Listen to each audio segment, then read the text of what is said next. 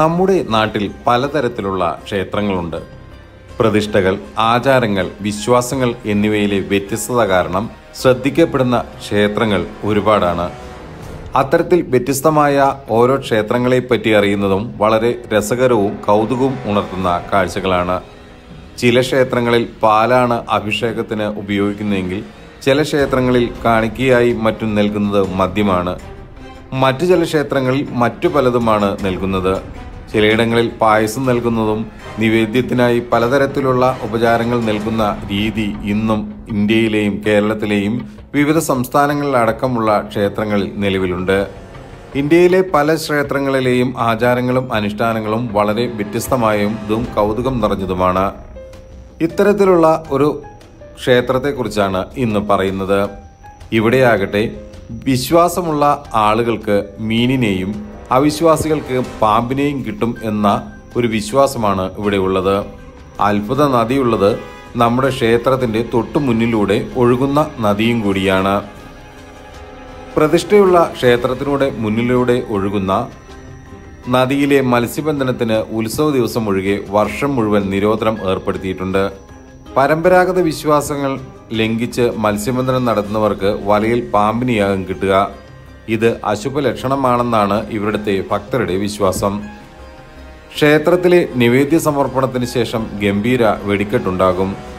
തുടർന്ന് ഭക്തർ നദിയിലേക്ക് ഇറങ്ങും.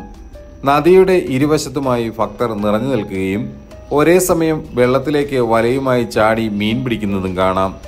ആ ദിവസം മത്സ്യത്തൊഴിലാളികൾ അവർക്ക് ആവശ്യമുള്ള മീൻ എടുത്ത ശേഷം ബാക്കിയുള്ളവ വിൽപ്പന നടത്തും. വില അല്പം കൂടിയാലും ഗ്രാമവാസികൾ എല്ലാവരും ഇവരുടെ കയ്യിൽ നിന്ന് അന്ന് മീൻ വാങ്ങും. ഉത്സവ ദിവസം പിടിക്കുന്ന മീനിന് സാധാരണയേക്കാൾ സ്വാദ് കൂടുതലായിരിക്കുമെന്നാണ് ഇവരുടെ വിശ്വാസം. ഉത്സവത്തിന് ബന്ധുക്കളെയും സുഹൃത്തുക്കളെയും വിളിച്ച് സമൃദ്ധമായ വിരുന്നും ഗ്രാമവാസികൾ ഒരുക്കുന്നത് പതിവാണ്. നമ്മുടെ രാജ്യത്തെ കർണാടകയിലാണ് ഈ ക്ഷേത്രമുള്ളത്. കണ്ടിക നിവാസികൾ വൃഷഭ സംക്രമണ മഹോത്സവത്തോടനുബന്ധിച്ചാണ് ജാത്ര മഹോത്സവം എന്ന ചടങ്ങ് നടത്തുന്നത്. പ്രാദേശികമായി കണ്ടേവ് എന്ന് വിശേഷിപ്പിക്കപ്പെടുന്ന ധർമ്മരസു ഉല്ലയ എന്ന ദേവനുമായി ബന്ധപ്പെട്ടതാണ് ആഘോഷം. ശിവന്റെ തന്നെ ഒരു രൂപമായാണ് ഉല്ലയെ വിശ്വാസികൾ ആരാധിക്കുന്നത്.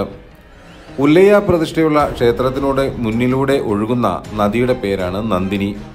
ഈ നന്ദിനി നദിയിലെ മത്സ്യബന്ധനത്തിനാണ് ഇത്തരത്തിലുള്ള ഒരു വിശേഷണം ഉള്ളതെന്ന് അവിടുത്തെ ഭക്തജനങ്ങളും അതിന്റെ പ്രധാന സംഘാടകരും പറയുന്നുണ്ട്.